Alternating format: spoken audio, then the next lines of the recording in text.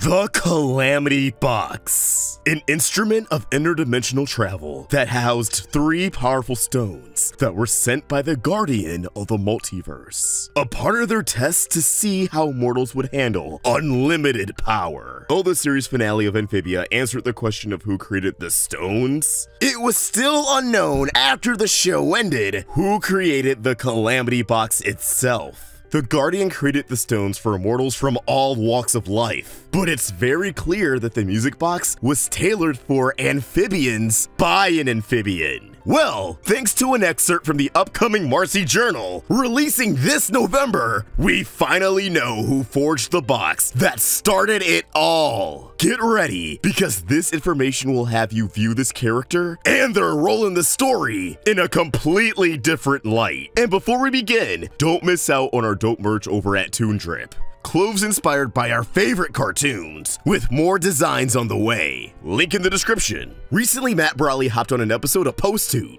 a weekly talk show hosted by Sarah Nicole Robles, Cece Jones, and our homie, Rebecca Rose. Matt's appearance transforming this special episode from Post Hoot, typically about the Owl House, into Post Croak, and it's all about Amphibia, baby. I recommend checking out the full thing so you can catch all the cool and fascinating questions Matt answered. But what we want to focus on is his gift to the audience a coded message from the Marcy Journal written in the ancient Amphibia alphabet, which of course has been deciphered by fans over the course of the series. This page gives us much needed lore on a certain newt. It reads, The inventor of the box, the wisest newt of them all. She managed to unite the kingdoms under one banner, a banner of interdimensional conquest and ambition. Peace came to Amphibia, and with it, a golden age. However, this pace led to the conquest and subjunction of other worlds. The inventor of the box faded into obscurity, burdened by guilt and sadness. Burdened by guilt and sadness. It is said that not even death could hinder her quest for redemption, and that she still travels the world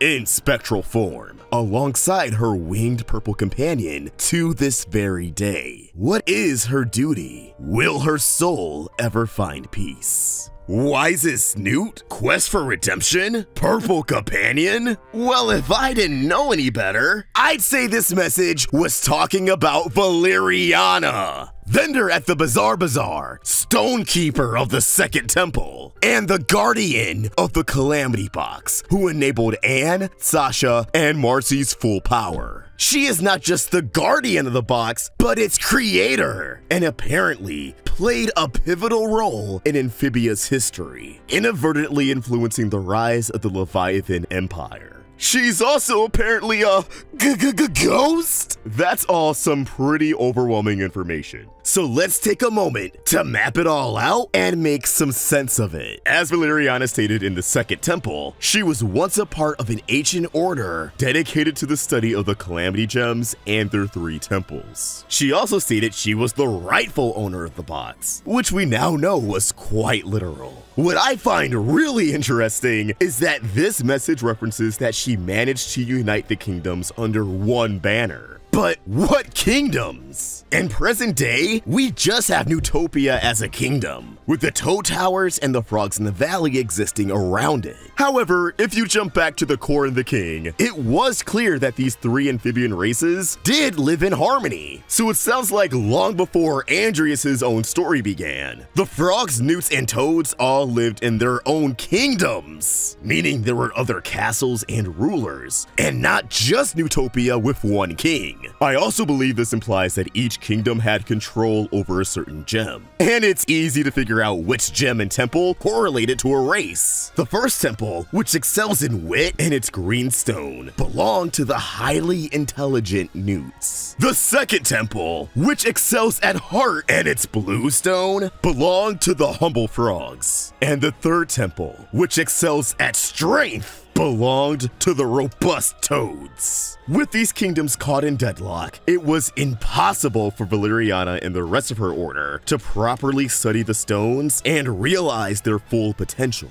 It seems as if she figured out that if all three stones were brought together, they could enable interdimensional travel, using this as a pitch for the three kingdoms to come together and share their stones. As King Aldrich once told Andrias, if they lost the box, they would lose their way of life. I think Valeriana envisioned unlimited resources out in the multiverse that Amphibia could use to better their own lifestyle. There'd be no more need for fighting if everybody was able to get what they want from other places. But what Valeriana didn't account for was that other life out there would be affected. Nevertheless, the three kingdoms unified, and now harboring the three stones, Valeriana created the music box. But I don't think it was without trial and error, given that in Bizarre Bazaar, Valeriana's stand is full of artifacts that have a strong similarity to the box. Likely her other attempts at instruments that could house the stones, but didn't work for one reason or another. Or perhaps they did work, but utilized the stones in ways that differ from opening portals. From here, we would have the golden age of Amphibia, as seen in the core and the king. Frogs, newts, and toads living in prosperity with one another at the expense of other worlds. Around this point, Valeriana would disappear, agonizing over the suffering she's brought to these other worlds, clinging onto the hope from Olm prophecy that three human girls would one day arrive and save not just Amphibia, but the multiverse. Somehow, whether through magic or sheer willpower, Valeriana would survive death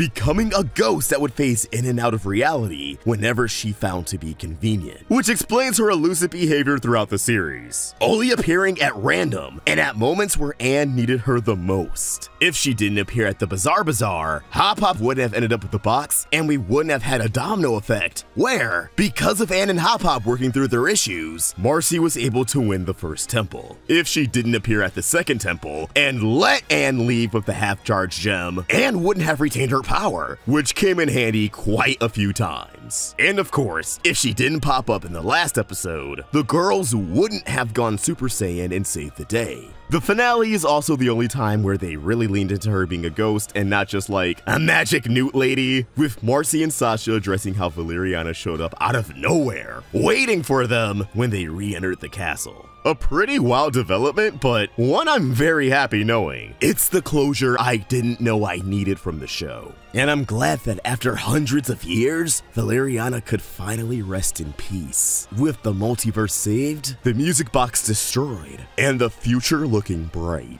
And on that note, comment down below how you feel about this information. Did you have a feeling Valeriana created the box? Did you think she was a whole ass ghost? Or does that come as a shock? Drop your thoughts in the comments down below and keep the conversation going by giving me a follow on Twitter and Instagram at AwestruckVox and the Roundtable at RoundtableVids. Once again, check out Toon Drip, and if you enjoyed this video, please throw it a like and subscribe to the Roundtable with notifications on so you never miss a video. Thanks for watching, and I'll talk to you nerds later. Peace out!